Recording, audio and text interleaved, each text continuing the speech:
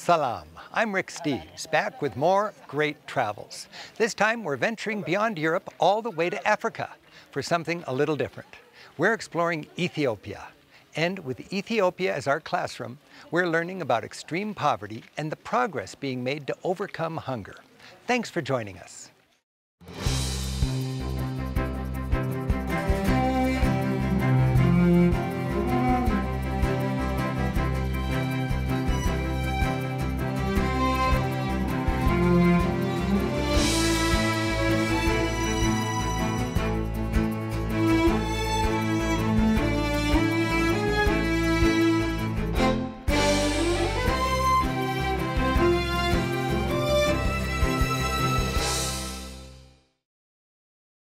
Ethiopia has endured drought, famine, and lots of conflict. But today, after years of steady development, it's emerging as a model for the future of Africa.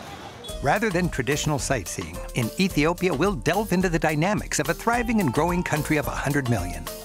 We'll learn about the importance of water, new techniques for smart agriculture, and how good nutrition, education, and empowering women are fundamental to development.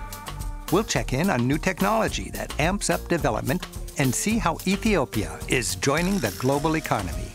And we'll do it in a way to better understand how development is working across the globe.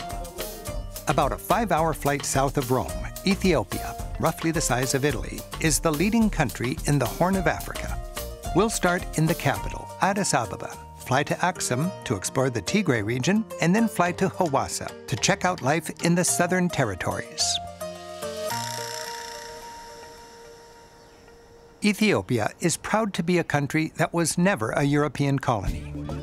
Along with busy cities, it also has a rich and ancient heritage. It's a country of many ethnic groups and vivid contrasts. Some of the oldest Christian churches anywhere, a world-renowned coffee tradition, and dramatic natural beauty. While Ethiopia has long struggled with poverty and famine, it's making great strides. And today, countries like Ethiopia are inspiring hope in the developing world with steady gains. Ethiopia's capital, Addis Ababa, is a city of over 3 million people. It has a lot of energy, high rises, efficient mass transit, and the headquarters of the African Union. And Addis Ababa also has its chaotic market scenes and teeming slums. Big cities like Addis are a seductive draw to young people from the countryside. For a poor rural person, such a high-energy city with an enticing consumer society and office towers that seem to promise job opportunities has a strong appeal. It's a global trend the allure of the big city depopulates the countryside and fills the barrios. Neighborhoods like this are crowded with people who came to the big city dreaming of solid employment, only to find themselves mired in urban poverty. Ravines, considered uninhabitable by the local government, become shanty towns, crowded with these new arrivals.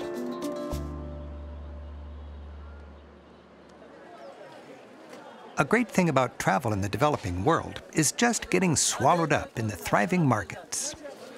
Wandering the streets and back lanes with so much commerce spilling out every which way is a barrage on the senses.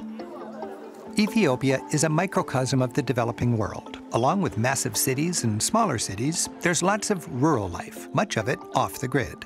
Driving into Ethiopia's countryside, we're reminded that roughly half of the world's population is subsistence farmers, that most of the world's hungry are rural people, and their reality is harsh.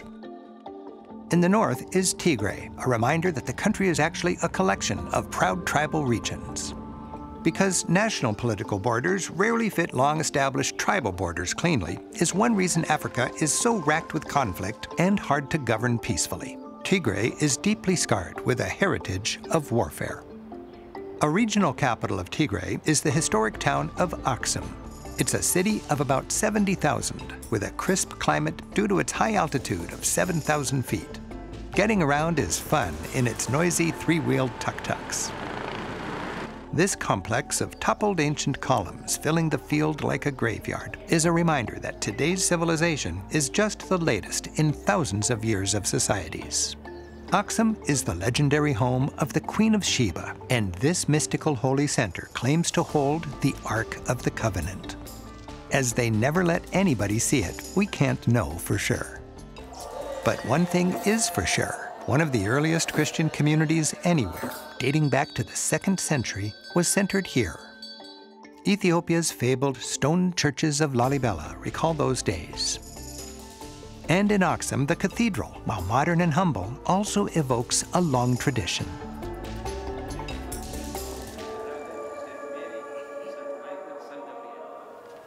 This camel caravan, trekking all the way to the market in Khartoum in the Sudan, is a reminder that this has long been a crossroads of trade.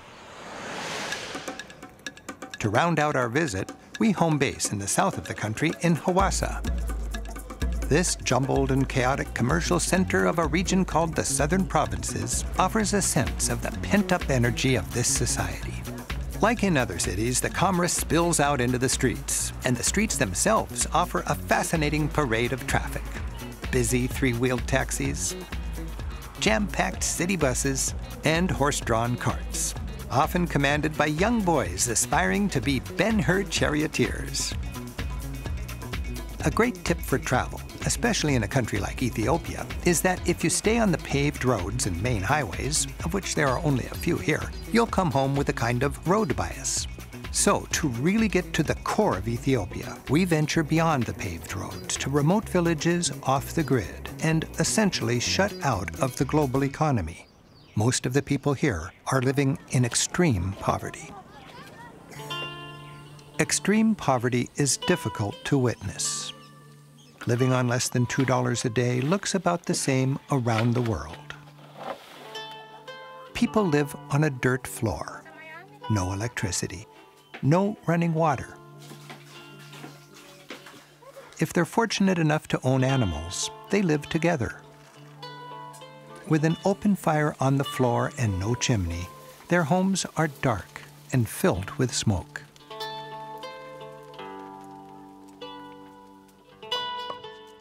Work is done by hand. They eat one or two plates of a starchy staple a day, not enough for their children to grow healthy. There's likely little education, job skills, or understanding of good hygiene. The people in this family will probably never be seen by a doctor. One unanticipated crisis, a storm, an accident, a sick parent, and these children go hungry. Hundreds of millions of people like these struggle daily, out of sight and out of mind of those of us who are more privileged. In the last generation, the world has made dramatic progress against hunger. Since 1990, the number of people living in extreme poverty has dropped by more than half, from 2 billion to less than 1 billion. We're on a trajectory to end extreme poverty in our lifetime. Around the world, the poorest of the poor are climbing out of extreme poverty and are gaining modest and dignified lives. Recent progress has been blunted by new setbacks, including the COVID-19 crisis. But there is still reason for hope as hardworking locals, smart governments, and NGOs are partnering to overcome hunger. Back up in Tigray, Abedi and his family are a good example. While still poor, they have a more modern home and are actually making progress. Abedi explained how he's running a productive small farm, growing enough for his family needs with a surplus to sell. He showed me how a tank he fills with manure produces fertilizer. At the same time, it generates methane or biogas. Abedi can now fire up his stove and boil water without using firewood. He has light even after the sun goes down. His home is spacious with windows for ventilation and a sturdy tin roof. The old kerosene lamp grows dusty as this light is now powered by a solar panel. And the same panel provides enough juice to charge their cell phones. The family has worked hard and has enough food stored to get them, hopefully, through the hunger season. And a few sheep share the courtyard until they're sold at the market to boost the family income. Rising out of extreme poverty through development requires certain basics. Water is fundamental to health, hygiene, and nutrition. But for much of the world, access to water is a daily struggle. Hundreds of millions of people live in villages with no running water or well. They have to walk for their water, often for hours. It's typically a job for women and children. A vital step in development is building water infrastructure. This Ethiopian village got a well last year, thanks to an American NGO whose mission is to do exactly that. Wells like these cost about $4,000. Today, with a neighborhood well, these people no longer need to walk hours a day to get their water. Modern aid projects are not simply given to a community. Experience has taught development workers that locals who actually work for these projects take better care of them. They work with the NGOs to build the projects. This pump is community owned. A locally elected committee manages it, and each family pays about a dollar a month to maintain it. With ownership comes responsibility and good stewardship. Water infrastructure divides the poor from the extremely poor. Having to depend on river water means farmers and families are dependent on rain. River water may carry waterborne diseases. With safe water reliably available right in the village, there's better hygiene. Families are sick less often. Children have more time and energy for school and work. And the moms have more time and energy to nurture their children. Ironically, most of the hungry people in the world are farmers. Helping farmers grow more food more profitably is essential for overcoming extreme poverty. More food means more money, which fuels development. Exciting advances in agriculture have resulted in a green revolution throughout the developing world. Ethiopia is becoming a model of development thanks to governmental leadership. The country is divided into 18,000 districts, each with a farmer's training center. The government employs 60,000 teachers and coaches who work to make sure smart agricultural policies are implemented throughout the country. Here we train uh, farmers on different disciplines, uh, on li livestock production, uh, feed management, irrigation uh, and water management. For example, here at Abadi's Training Center, local farmers learn why it's important to plant seeds in a line rather than scattering they learn to rotate crops with plants like alfalfa, which reinvigorates the depleted soil. And the government has studied the soil across Ethiopia and recommends just the right mix of fertilizer for each district. Smart farming includes selective breeding so animals can survive local conditions as well as increase their production. This cow is a European Holstein crossed with an African breed, hardy in the heat and giving more than double the milk. These hybrid chickens lay triple the eggs compared to the local ones. The value of these new farming techniques is evident back on Abadi's farm. While his parents subsisted on corn only, he's diversified his crops. And better seeds allow three harvests a year rather than two. An effective way to fight hunger is to focus on health and nutrition. After all, if you're sick, you're more likely to be poor. And if you're healthy, you're better able to climb out of poverty. In many developing countries, the government, often with the help of the United Nations World Food Program, maintains health posts like this one. Extremely poor people have no money for health care, but this health post provides the basics in the village for free. Pauline Akabwe, a local UN worker, explained how they educate young mothers who gather here twice a month to help them raise healthier babies. A health post is the smallest unit of health in Ethiopia, and this is one of the health posts. The reason why we have a health post is because of the close proximity to the community, and the mothers and our beneficiaries do not need to pay any money to receive services. The World Food Program knows that if babies don't get the right calories in their first thousand days, they'll become permanently stunted with underdeveloped brains and less able to climb out of poverty. The main objective is to prevent malnutrition. We have a program uh, called Targeted Supplementary Feeding Program, and the program targets children under five years with moderate acute malnutrition and also pregnant and lactating women with moderate acute malnutrition. One of the activities that we do is to screen for malnutrition, moderate acute malnutrition. They measure the arms of the children, and if, it, uh, if the pointer shows yellow, it means the child is moderately acute malnourished. We also weigh children. During, when you're screening for malnutrition, you weigh children. Along with being malnourished, children in the developing world are more likely to contract a host of dangerous diseases. Inoculations are an example of a global success of a United Nations led initiative. Measles, typhoid, and pneumonia, until recently commonplace in the poor world, are easily avoided with cheap and simple vaccinations. Thanks to a UN program with generous funding from the United States, nearly all the world's children are now inoculated against these most deadly diseases, and child mortality has dropped dramatically. Education is critical. Governments, private enterprise, and parents are realizing that an educated workforce is a prerequisite for development in today's global economy. But there are persistent cultural and economic challenges. Parents are often more eager to get schooling for their boys than for their girls. Education is often designed to favor children of the ethnic and economic elites in the big cities to the disadvantage of minority and rural children. And many children don't have families or the money to get an education. Even if school is technically free, uniforms and supplies are not, and these can make school just too expensive for a poor family. AIDS devastated thousands of families, resulting in populations of uneducated or undereducated children.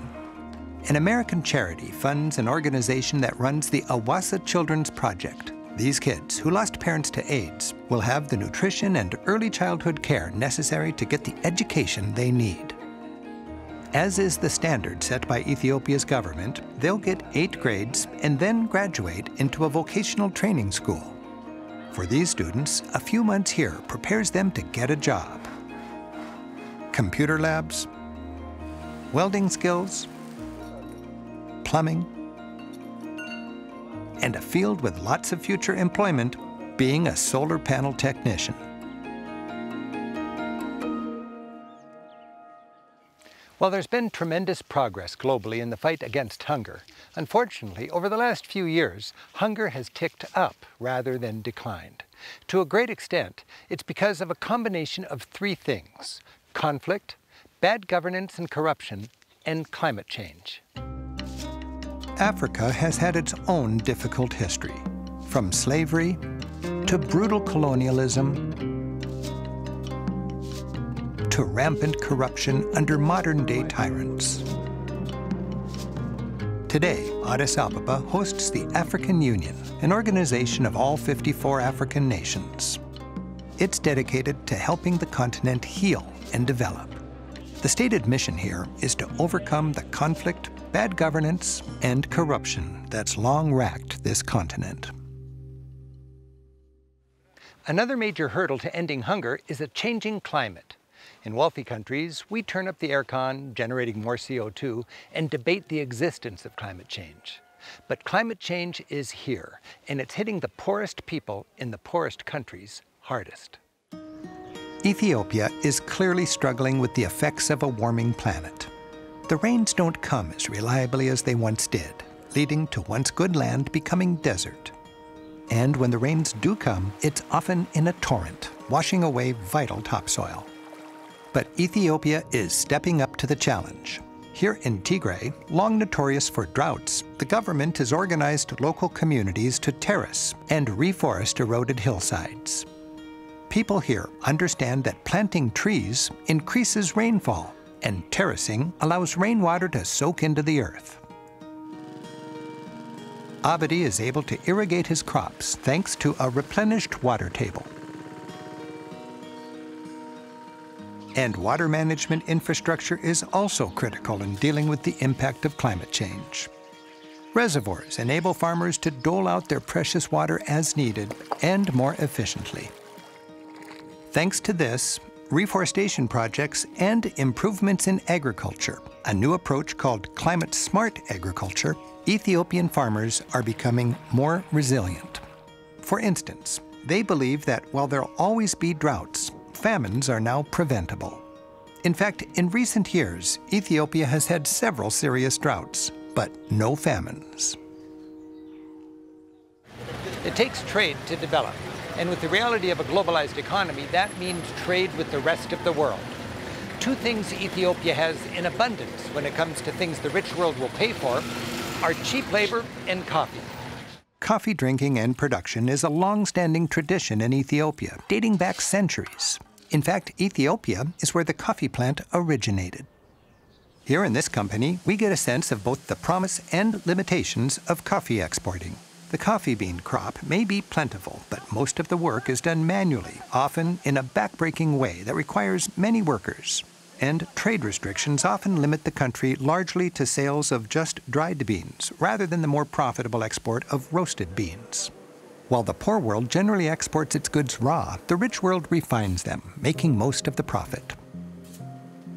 But Ethiopia's main resource is its people. And just like the Pacific Rim was able to develop by being the world's workshop, Ethiopia, with 100 million people ready to work, aspires to do the same thing. Ethiopia has made training a skilled workforce a priority. Learning industrial sewing is good prep for a solid job. And these grads got that job just down the street at the Hawassa Industrial Park. This is one of many sprawling complexes of industrial sheds designed to generate export income for Ethiopia. Each shed is run by an international manufacturing company. This is made possible because of supportive U.S. trade policy, the low cost of Ethiopian labor, and the government's aggressive initiative to attract business. Thank you for having us here. What is this park? Yeah, Hawassa Industrial Park is a government industrial park built just for the export purpose and uh, attracting the foreign direct investment here. We have uh, 52 factory sheds and 22 companies from different parts of the world. So when the park is fully operational, it will create 60,000 job opportunities and 1 billion US dollar from the export also per annum. And also we have airport here in Hawassa, and also we have expressway. So it will make easy just to export our products to the abroad markets. Ethiopian workers are about where China's workers were a generation ago. As China has developed, it's no longer the world's primary source of cheap labor. Ethiopia aspires to spur its development by helping to fill that role in today's global economy. Technology has become a boon to developing countries, bringing new approaches like solar panels to overcoming extreme poverty. Low-cost, high-tech innovations are offering solutions to age-old challenges. Remote, off-the-grid communities are employing wireless technology, leapfrogging past older energy and communication infrastructure. For example, solar panels are powering villages that were literally in the dark without electricity. This solar panel powers a water pump so the village can make it through dry periods by filling this reservoir. And cheap cell phones are revolutionizing the world of small business people. Herders learn when and where to bring their stock to market. This entrepreneur can make a direct sale and avoid a needless middleman. And entrepreneurs can make and receive mobile payments and do their banking without making a trip into town. Traveling through Ethiopia is a great chance to better understand the economic reality of our world. It gives me my most valued souvenir, empathy. And it makes me consider my relation to it all. Should I feel guilty? Why should I care? Can I make a difference? I've thought a lot about this. I don't need to feel guilty, but I want to be honest about our world, how privileged we are, and how there's an obscene gap between the rich and poor we can be part of the solution. That's exciting. And it's an opportunity. Considering all the wealth in our world, 700 million people living in extreme poverty is just not right. We can end hunger in our lifetime. We can do it altruistically because we care, or we can do it because it'll make our world a more stable place and our country safer. Or we can do it for both reasons. Thanks for joining us in Ethiopia. I'm Rick Steves, wishing you thoughtful travels.